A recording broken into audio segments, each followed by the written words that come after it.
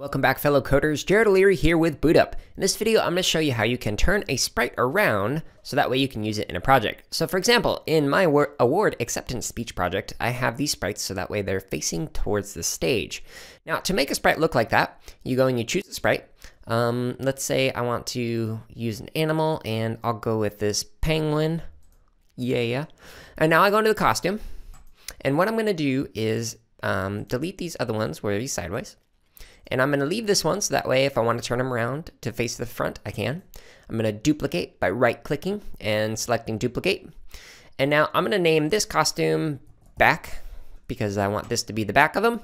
And I'm going to use the paint bucket to actually fill in the color so that way it's all one solid color. So to make sure that I get the correct color of the penguin, I click on this fill where it's got the triangle and use the eyedropper and now wherever I move my mouse, it's going to highlight it with the ring.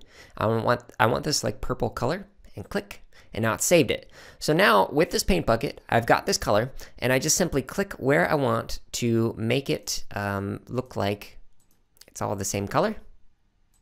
And by doing that, I have now made it so that my penguin looks like it's turned around. So it's facing just like an audience member would at some kind of an event.